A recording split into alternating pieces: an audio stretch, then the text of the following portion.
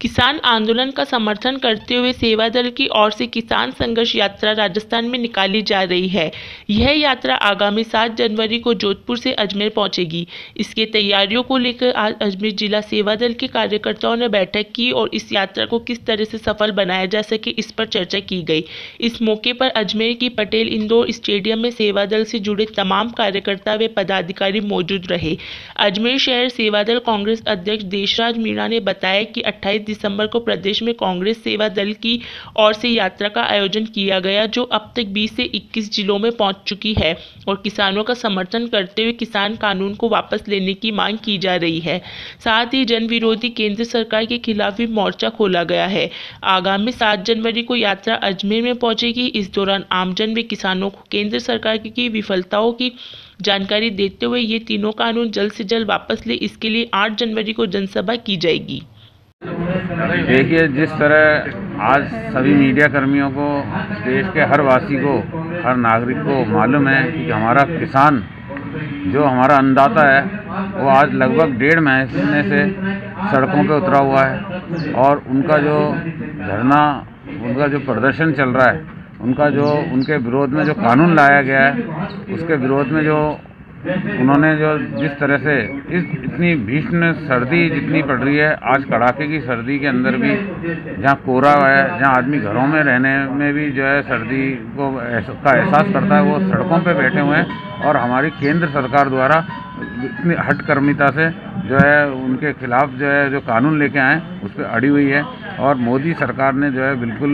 जितनी वार्ता की है, सब विफलता पे जाने का कारण है कि वो उनकी एक मानने को तैयार नहीं है। और वो किसानों के साथ नहीं है। उस स्थिति में कांग्रेस की हमारी सेवा दल संगठन ने जो किसानों के समर्थन में एक किसान यात्रा के रूप में जो है रैली निकाल रखी है, जो विभिन्न शहरों में होती हुई आ रही है, जो सात तारीख को शाम को अजमेर में जोधपुर से होती हुई अजमेर में प्रवेश करेगी और सात तारीख को अजमेर में जब उसका प्रवेश होगा तो सभी हमारे कांग्रेस के साथीगण और हमारे जो किसान भाई हैं, हमारे जो पेरा फेरी क्षेत्र के हमारे साथी हैं, वो सब शामिल होकर उस रैली में शामिल होंगे और विभिन्न बाजारों में होते हुए वो आएगी। उसके बाद आठ तारीख को रात जो है एक आम सभा के रूप में उनको संबोधित किया जाएगा। तो निश्चित तौर पर जो मोदी सरकार ने जो है जिस तरह किसानों के साथ शोषण किया है उसका पूर्व ज़ोर से विरोध किया जाएगा और